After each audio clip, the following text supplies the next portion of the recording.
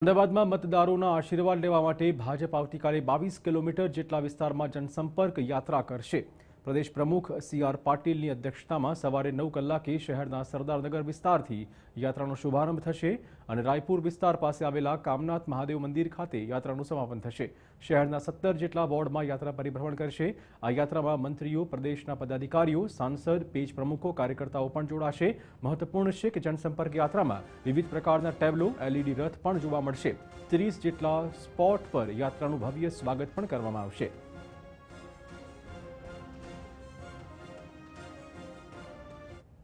નવ કલાકે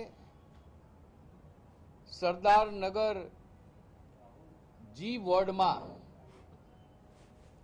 આ કાર્યક્રમનો શુભારંભ થશે અને કામનાથ મહાદેવ ખાડિયા